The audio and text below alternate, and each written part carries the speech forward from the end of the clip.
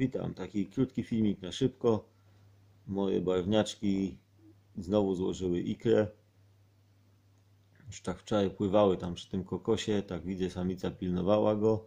Samiec jeszcze, jeszcze pływał za jedzeniem, a samica już tylko przy samym kokosie. No i dzisiaj z rana zobaczcie, cały kokos jest już znowu obsiany ikrą. Znowu są jajeczka. Zobaczymy, czy tym razem uda im się upilnować. Mam nadzieję, że tak.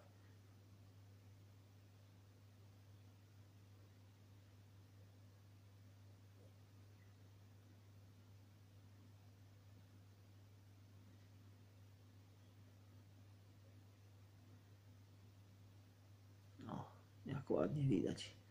Samica w środku cały czas wachluje.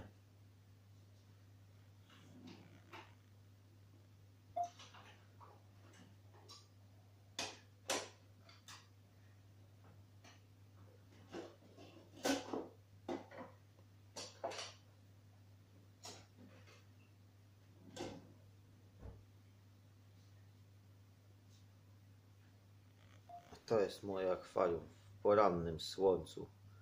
Nas zawsze słońce przez okno wpada i oświetla sobie taki malutki wycinek i zawsze w tym małym kawałku akwarium y, to jest jakieś 40 cm na 20, ale zawsze w tym małym kawałku akwarium z rana zaczyna się życie.